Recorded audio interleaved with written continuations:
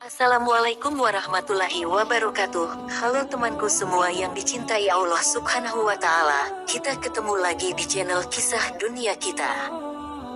Pada kesempatan ini, kita akan membahas tentang Candi Borobudur, sejarah yang begitu terkenal, bahkan dinobatkan sebagai keajaiban dunia ketujuh.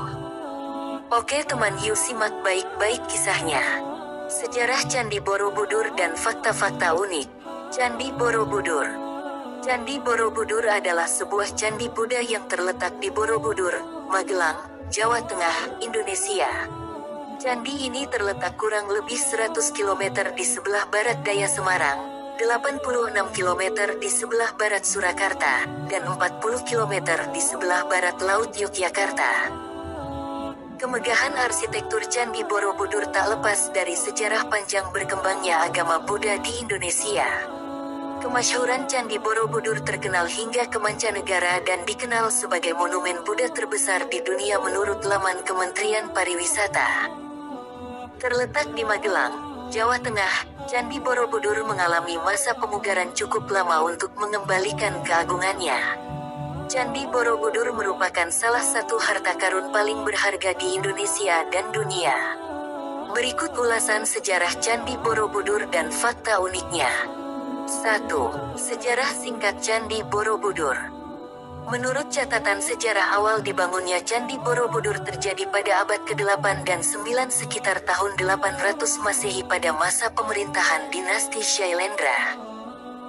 Pembangunan Borobudur diprediksi membutuhkan waktu puluhan hingga ratusan tahun sampai benar-benar rampung pada masa pemerintahan Raja Samaratungga tahun 825. Meski selesai dibangun, tidak ada catatan sejarah yang menjelaskan siapa sosok yang membangun Candi Borobudur. Pasalnya, pada masa itu agama Hindu dan Buddha berkembang bersamaan di Pulau Jawa. Dinasti Shailendra tercatat sebagai penganut agama Buddha aliran Mahayana sementara di sekitar Borobudur juga terdapat penganut Hindu aliran Siwa. Sejumlah arkeolog menduga pembangunan Candi Borobudur mengalami perombakan sebanyak empat kali. Awalnya pembangunan dimulai dengan meratakan dataran sekitar candi dan memadatkan tanah dengan batu untuk membentuk struktur piramida. Struktur tersebut kemudian berubah lantaran ditambahnya luas undakan persegi dan melingkar. Kemudian, Borobudur mengalami perubahan terakhir pada undakan melingkar dan dilakukan pelebaran ukuran pondasi. Kemegahan Borobudur sempat sirna selama berabad-abad karena terkubur di bawah lapisan tanah dan debu vulkanik yang kemudian ditumbuhi pohon dan semak belukar hingga menyerupai bukit. Tidak diketahui alasan pasti Borobudur ditinggalkan penduduknya saat itu.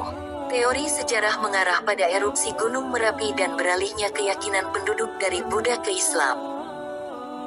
Kembalinya kemasyhuran Candi Borobudur terjadi pada masa Thomas Stamford Raffles saat menjabat sebagai Gubernur Jenderal di Pulau Jawa pada 1811. Penemuan kembali terjadi saat Raffles mendengar terdapat sebuah bangunan besar tersembunyi jauh di dalam hutan dekat desa Bumi Segoro. Raffles kemudian mengutus seorang insinyur Belanda bernama Christian Cornelius untuk memeriksanya. Tersiarnya kabar penemuan kembali Borobudur juga menjadi malapetaka terjadinya kerusakan di banyak tempat. Sampai pada akhir 1960-an pemerintah Indonesia meminta bantuan kepada UNESCO untuk mengatasi permasalahan di Candi Borobudur. Dalam sejarah Candi Borobudur, Renovasinya menghabiskan waktu yang lama dan biaya yang besar sampai penetapan sebagai situs warisan dunia oleh UNESCO pada 1991.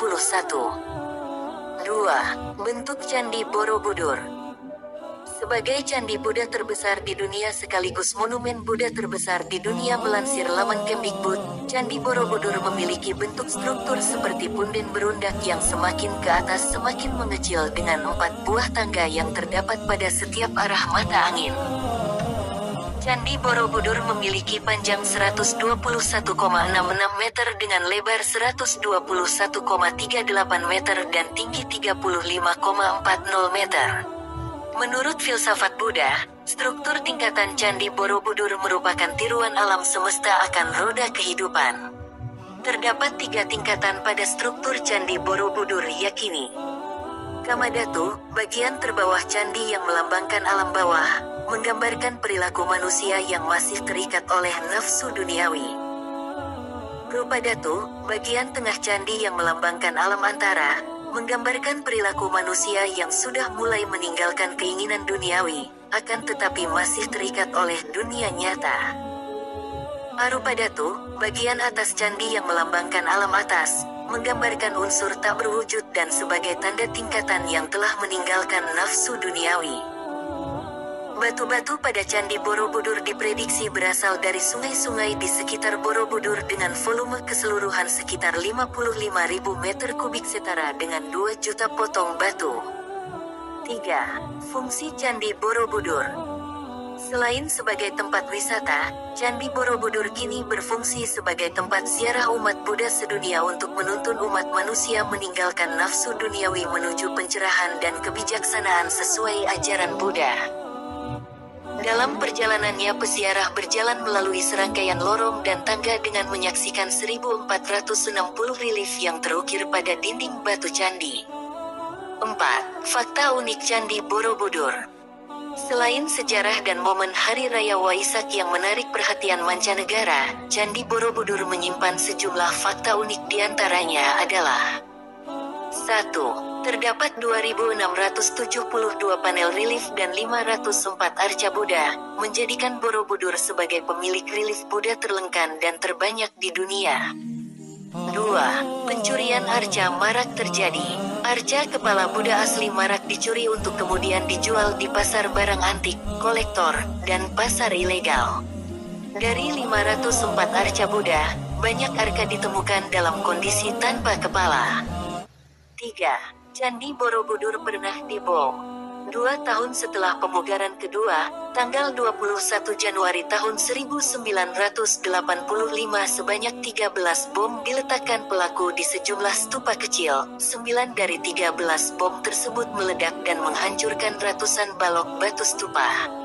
Aksi pemboman berkaitan dengan pemahaman radikal. 4. Pemerintah Hindia Belanda serahkan arca berharga ke Thailand dan Inggris. Pemerintah Hindia Belanda kala itu memberikan cuma-cuma artefak candi dalam jumlah banyak sebagai buah tangan kedatangan Raja Thailand Chulalongkorn kedua. 5. Pemerintah Hindia Belanda sempat mendirikan warung kopi di puncak stupa saat pertama kali ditemukan. Demikian sejarah Candi Borobudur dan fakta unik yang dapat Anda ketahui. Jika tidak dijaga kelestariannya akan semakin tergerus dan punah.